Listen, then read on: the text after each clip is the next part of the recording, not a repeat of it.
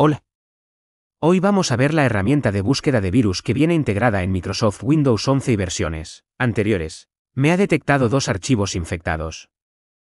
Al terminar podemos ver un análisis resumen.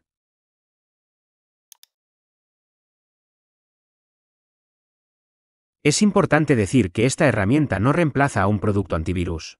Para iniciar esta herramienta vaya a buscar ejecutar.